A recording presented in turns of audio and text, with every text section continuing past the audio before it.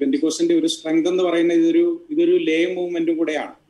കാരണം ഇത് പിന്നെ ഈ വളരെ പ്രസിദ്ധമായ ഒരു പഠനമുണ്ട്. അതായത് പെന്തിക്കോസിൽ ലോകവ്യാപകമായിട്ട് പെന്തിക്കോസിൽ ലോകത്തിൽ ഏറ്റവും കൂടുതൽ സ്ത്രീകളാണ് പെന്തിക്കോസിൽ ഇത് കേരളത്തിലെ സഭ എടുത്താലും ഉള്ള ആഗോള നോർത്ത് ഇന്ത്യയിലൊക്കെ ആണെങ്കിൽ പല സഭകളിലും സ്ത്രീകൾ മാത്രമേ ഉള്ളൂ ഞായറാഴ്ച യോഗങ്ങളിൽ. എന്നാൽ അവർക്ക് വലിയ റോളൊന്നുമില്ല പക്ഷെ ഈ സ്ത്രീകളാണ് ഈ പെന്തിക്കോസിനോട് ഭയങ്കരമായിട്ട് ആകർഷിച്ചുകൊണ്ടിരിക്കുന്നത്. എന്താണ് അവിടെ സംഭവിക്കുന്നത്? അപ്പൊ റോൾ ഇല്ലെന്ന് പറഞ്ഞാൽ അവരുടെ റോളിനെ ഒരു പ്രത്യേക രീതിയിലാണ് കാണുന്നത് എന്നുള്ളതാണ് ലോകവ്യാപകമായിട്ട്. അപ്പൊ ഞാൻ പറഞ്ഞു വരുന്നത് വലിയ പ്രകടമായ റോൾ ഇല്ലെങ്കിലും ഈ സ്ത്രീകൾ ഈ മൂവ്മെന്റിലേക്ക് ഒഴുകാൻ നമുക്കറിയാലോ ഇപ്പൊ ഈ ന്യൂ ജനറേഷൻ സഭ എന്ന് പറയത്തില്ലേ നമ്മൾ സത്യത്തിൽ ഞാൻ നേരത്തെ പാട്രിയാർക്കിയുടെ കാര്യം പറഞ്ഞു. ഈ പുരുഷ മേധാവിത്വം ഭയങ്കരമായിട്ടുള്ള നമ്മുടെ ക്ലാസിക്കൽ പെൻഡിക്കൽ സഭയിലാന്ന് പറഞ്ഞപ്പോ അതിന്റെ നൂറ് മടങ്ങുണ്ട് സത്യത്തിൽ ഈ ന്യൂ ജനറേഷൻ സഭയിൽ. ന്യൂ ജനറേഷൻ സഭയിൽ നമ്മൾ വിചാരിക്കുന്നത് എല്ലാം മനോഹരമാണെന്നാണ്. പക്ഷെ അവിടെ സ്ത്രീകളുടെ കാര്യത്തിൽ ഏതെങ്കിലും ന്യൂ ജനറേഷൻ പ്രീച്ചേഴ്സ് സ്ത്രീകളായിട്ടുണ്ട്. ഇവിടെ കുറച്ച് പേരെങ്കിലും നമുക്ക് കാണിക്കാനായിട്ടുണ്ട്. അപ്പം അവിടെ സ്ത്രീകൾക്ക് യാതൊരു റോളും ഇല്ല. അങ്ങനെ ഒരു അർത്ഥത്തിൽ റോൾ ഇല്ലെന്ന് പറഞ്ഞാൽ തെറ്റാണ്. കാരണം അവിടെയും സ്ത്രീകളെ ഒഴുകി എത്തുന്നുണ്ട്. ഇപ്പൊ റോൾ വേറെ രീതിയിലാണ് അതിനെ കാണുന്നത്. അപ്പൊ ഞാൻ അതിന്റെ ഈ ചോദ്യത്തിന്റെ ഉത്തരത്തിലേക്ക് പെട്ടെന്ന് വന്നാൽ എങ്ങനെയാണ് സത്യത്തിൽ അത് ഈ ഈ മൂവ്മെന്റിന്റെ സ്ട്രെങ്ത് തന്നെ ആയിരിക്കട്ടെ മുന്നോട്ട് പോകാനുള്ള ആ ഒരു ശക്തിയും അതായത് ആളുകൾ ജനങ്ങൾ ഞാനും നിങ്ങളും നമ്മുടെ മാസ്റ്റർമാരും ഒക്കെ ഉൾപ്പെടുന്ന ഒരു ഒരു ഒരു ഒരു കൂട്ടമായിരിക്കട്ടെ. അത് അത് കൃത്യമായിട്ട് അങ്ങ് കാരണം അൽക്കൊടുത്തപ്പ സാർ ഒരു കാര്യം അതിന്റെ ഇടയ്ക്കല്ല. പിന്നെ രാജു അനിക്കാട് സാർ പറഞ്ഞപ്പോഴത്തേക്ക് ഞാൻ എക്യുമനിസത്തിൽ അദ്ദേഹത്തിന്റെ സ്റ്റാൻഡ് അതാണ് അതിലും അതിലും പ്രതീക്ഷയുണ്ട്. അങ്ങനെയുള്ള ഒരു ഒരു കാര്യബോധമുള്ള ഒരു ലീഡർഷിപ്പ് ഉണ്ടാകട്ടെ. ചെറുപ്പക്കാരുണ്ടാകട്ടെ. സോഷ്യൽ മീഡിയയിൽ ഇടപെടുന്നവരുണ്ടാകട്ടെ. വിശ്വാസികൾ ഉണ്ടാകട്ടെ എനിക്ക് ചെറിയ ഒന്ന് രണ്ട് റെക്കമെൻഡേഷൻ ആണുള്ളത്. നമുക്ക് എങ്ങനെ പോകാൻ പറ്റുമെന്നുള്ള കാര്യത്തിൽ.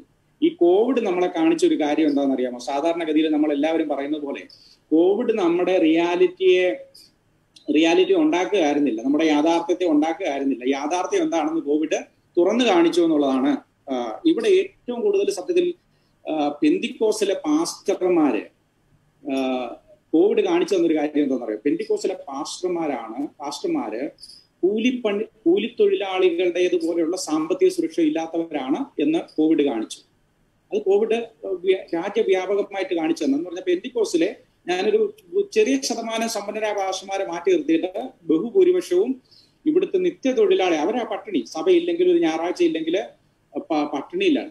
നമ്മൾ സത്യം ചെയ്ത് എല്ലാവർക്കും ദഹിക്കുമെന്ന് അറിയത്തില്ല. പക്ഷെ എന്റെ ഒരു recommendation do we need these many pastors ഇത്രയും പാസ്റ്റർമാരും ഇത്രയും പിന്നെ പ്രവാചകന്മാരും ഇത്രയും ക്രൂസൈഡ് പ്രസംഗരും നമുക്ക് വേണമെന്നുള്ളത് അടിയന്തരമായിട്ട് നമ്മൾ ചിന്തിക്കേണ്ടിയിരുന്നു സഭയ്ക്ക് പോറ്റാൻ പറ്റിയില്ലെങ്കിൽ നമുക്കറിയാമല്ലോ. ഇപ്പൊ ഉദാഹരണത്തിന് നമ്മുടെ വീടിനടുത്ത് ഒരു ചെറിയൊരു ഗ്രാമ ചർച്ചിലാണ് നമ്മൾ പോകുന്നത് വിചാരിക്കുക.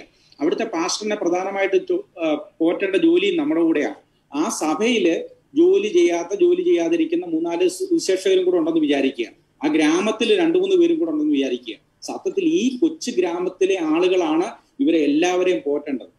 ആ ഒരു പരിപാടി നിർത്തിയിട്ട് ജോലിക്ക് പോകാൻ പോകുന്നവരെല്ലാം ജോലി ചെയ്യട്ടെ. എന്തിന് ഇവരെ ഞാൻ വളരെ ബഹുമാനത്തോടു കൂടി ചോദിക്കുക നമ്മുടെ ഈ വലിയ ബഹുസഹസ്രം പ്രവാചകന്മാരെ കൊണ്ട് നമുക്ക് എന്ത് ഗുണമാണ് ഉണ്ടായിട്ടുള്ളത്?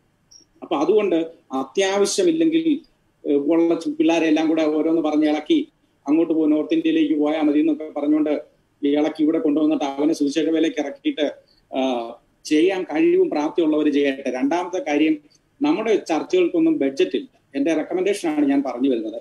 നമുക്കൊന്നും ബഡ്ജറ്റ് ഇല്ല അങ്ങനെ ബഡ്ജറ്റ് വെച്ച് പരിപാടിയല്ല. നമ്മുടെ പിരിഞ്ഞാണ് നമ്മുടെ ബഡ്ജറ്റ് ഉണ്ടാക്കുന്നത്.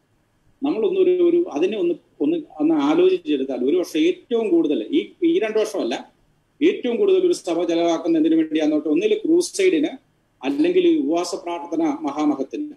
ഈ ക്രൂസൈഡ് പ്രസംഗകർ എന്ന് പറയുന്ന കൊടുത്തോട്ടം സാറും ജയ്സ് പാണ്ഡനാട് സാറും രാജു ആനിക്കാട് സാറൊക്കെ ക്രൂസൈഡ് പ്രസംഗരാണെന്ന് അറിഞ്ഞുകൊണ്ട് തന്നെ ഞാൻ പറയട്ടെ ഇതിനെ നിരോധിച്ചാൽ കേരളത്തിലെ പെന്തിക്കോസ് സഭ കുറച്ച് രക്ഷപ്പെടുമെന്ന് ഞാൻ വിചാരിക്കുന്നു. ക്രൂസൈഡ് പ്രസംഗം കൊണ്ട് നമുക്ക് കഴിഞ്ഞ നാൽപ്പത് വർഷങ്ങളിൽ എന്ത് ഗുണമാണ് ഉണ്ടായിട്ടുള്ളത്? അപ്പൊ ഇവരെ ഇവരെ പോലെയുള്ള സാമൂഹ്യമായിട്ടുള്ള ഇടപെടുന്ന വായനകളുള്ള ദൈവോചനം പഠിപ്പിക്കുന്നവരെ ഞാൻ ക്രൂസൈഡ് പ്രസംഗരെന്ന് വിളിച്ച് അപേക്ഷ ആക്ഷേപിക്കുന്നത് ശരിയല്ല. കാരണം അവർ ബൈബിൾ ടീച്ചേഴ്സ് ആണ്. അവരുടെ റോള നമുക്കുണ്ടാകണം. സഭയിൽ അവരെ അങ്ങനെയുള്ള ബൈബിൾ ടീച്ചേഴ്സ് ആണ് ഉണ്ടാകണം. നമുക്കിപ്പോ നോക്കിയോ ഏറ്റവും ഏറ്റവും പോപ്പുലർ ആയിട്ടുള്ളവര് ഒന്ന് വെളിപ്പാട് ദിവസം പറയുന്നവര് അല്ലെങ്കിൽ പെൺകുട്ടികൾ എങ്ങനെ വസ്ത്രധാരണം ധരിക്കണമെന്ന് പരസ്യമായിട്ട് പ്രസംഗിക്കുന്നവര് ഇവരാണ് നമ്മുടെ ക്രൂസൈഡ് പ്രസംഗർ ഇവർക്ക് വേണ്ടി ഒഴുക്കുന്ന പണം ഒരു കുഞ്ഞു സഭയ്ക്ക് സഭയുടെ കാര്യമാണ് പാസ്റ്ററിന് പതിനായിരം രൂപ കൊടുക്കാൻ ഇല്ലാത്ത ഒരു സഭ കഴിഞ്ഞിടയ്ക്ക് ഞാൻ ഒരു സഭയുടെ ഉപവാസ പ്രാർത്ഥന ഇരുപത്തൊന്ന് ഇരുപത്തൊന്ന് ദിവസത്തെ ഉപവാസ പ്രാർത്ഥനയുടെ നടന്ന കാര്യമാണ് അപ്പം അതിനകത്ത് വരവ് ചെലവ് കാണിച്ചപ്പോഴത്തേക്ക് ഫുഡിന്റെ ചെലവ് നാൽപ്പത്തയ്യായിരം രൂപ. ഇരുപത്തൊന്ന് ദിവസത്തെ ഉപവാസ ചെലവാണ് പക്ഷെ ഫുഡിന്റെ ചെലവ്. ഇതൊന്നും അഫോർഡ് ചെയ്യാൻ നമുക്ക് പറ്റത്തില്ല. അതുമൂലം എന്താന്ന് ചോദിച്ചു കഴിഞ്ഞാൽ ഈ ബൈബിൾ ബൈബിൾ ടീച്ചേഴ്സിന് റോൾ ഇല്ലാതായിട്ട് വരിക. അവരാണ് അവരാണ് ദിശാബോധം കൊടുക്കേണ്ടത്. ഇപ്പൊ ഇപ്പൊ ഇവിടെ പറഞ്ഞ കാര്യങ്ങളൊക്കെ അവരാണ് ദിശാബോധം കൊടുക്കേണ്ടത്. അവരാണ് നയിക്കേണ്ടത്. ഒരു രണ്ട് കാര്യം കൂടെ രണ്ട് റെക്കമെൻഡേഷൻ കൂടെ എന്റെ മനസ്സിൽ തോന്നി ഞാൻ പറയുകയാണ്.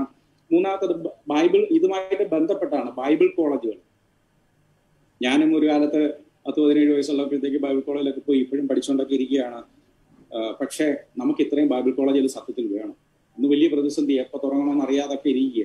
അവസാനം നാഗാലാൻഡിലും അരുണാചൽ പ്രദേശിലും പിള്ളേരെയൊക്കെ കൊണ്ടാണ് നമ്മൾ ഓടിച്ചു പോകുന്നത്.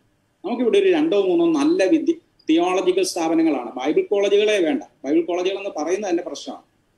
അത് തട്ടിപ്പാണ്. അത് അത് അത് അത് അത് വേറെ എന്തോ ഉദ്ദേശമാണ്. എന്ന് വെച്ചാൽ കുറച്ച് കാര്യങ്ങളൊക്കെ പൈസ ഒപ്പിക്കുക എന്നുള്ളത്. നല്ല രണ്ട് മൂന്ന് തിയോളജിക്കൽ സ്ഥാപനങ്ങൾ മാത്രം കേരളത്തിലെ സഭയ്ക്ക് മതി. ഒരു കാര്യം കൂടെ ഞാൻ പറഞ്ഞ് അവസാനിപ്പിക്കുകയാണ്. അവസാനത്തെ റെക്കമെൻഡേഷൻ നമ്മുടെ പ്രസംഗങ്ങൾ രണ്ട് കാര്യം കൊണ്ട് നമ്മുടെ പ്രസംഗങ്ങൾ സത്യത്തിൽ പറയുന്നതിന്റെ ഉദ്ദേശശുദ്ധി ഉണ്ടെങ്കിലും നമ്മൾ നമ്മുടെ വളരെ പോപ്പുലർ ആയിട്ടുള്ള പലരും വർഗീയത പറയാനായിട്ട് തുടങ്ങി.